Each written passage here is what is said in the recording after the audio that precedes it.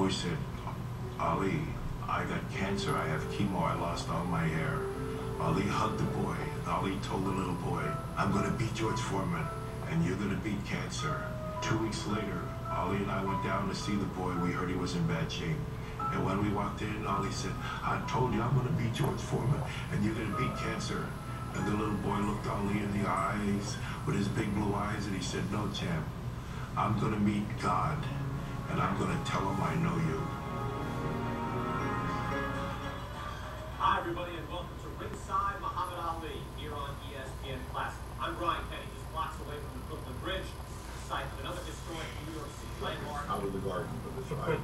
George, you're already a professional heavyweight. What, what was the thought at that time for Cassius Clay? Were you, you thinking that he was a you know meteor on the way up, or was it just in that mix? Well, he was definitely on the rise, there's no question about that. But You know, it's amazing even to this day. You can't look past, and nobody tells you, I'm looking right past this guy. He's saying, I'm looking right past And this that might have been a problem. Yeah. Uh, but the bigger, I think the bigger element shown there was that countered very well with a right hand over a jab throughout the course of the fight. That, that it was a, it was a, it was a problem for Ali during, during the fight. Pretty good scouting report a few years later, huh? That's great stuff, George. Where were you before? Well, it's, it's a very tough fight. Again, and pay very close attention. We're going to look at it right now. First round. Play two, two and a half, and there it is.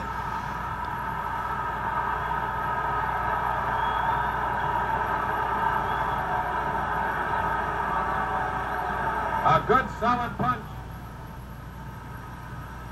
And just as we mentioned, pulling away from punches.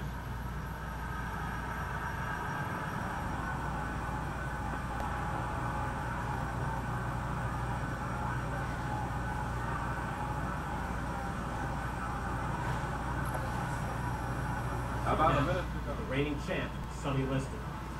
Well, my resolutions are to become the youngest heavyweight champion in history. That's nothing new to my fans. They all know that I will be the next heavyweight champion. Uh, I will be 21 January the 17th.